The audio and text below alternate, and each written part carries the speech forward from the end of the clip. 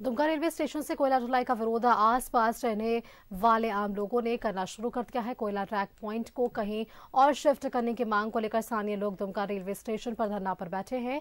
उन लोगों का कहना है कि कोयला ढुलाई के दौरान उड़ने वाली धूल से वे परेशान है। प्रदूषण के कारण उन्हें काफ़ी परेशानियों का सामना करना पड़ रहा है।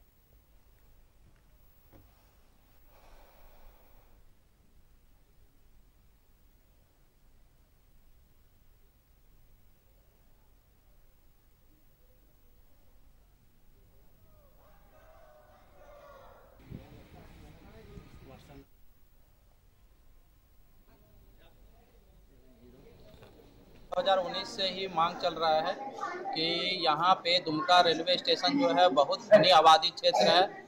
हम लोग चाहते हैं कि यहाँ से हटाकर किसी दूसरे जगह पे कोयला यार्ड को स्थानांतरित कर दिया जाए, क्योंकि हम लोग के यहाँ पे आए दिन बहुत सारे आदमी को बीमारी अभी से पकड़ने शुरू हो गया, फेफड़ा जाम होने लगा है, अभी सब आदमी अपना गेट वूट बंद करके रहने लगे हैं। लेकिन हम लोग का एक ही मांग है कि यहाँ दुमका मेन स्टेशन को सिर्फ़ आप लोग खाली कर दीजिए और यथासंभव जहाँ से हो आप लोग दूसरा जगह अपना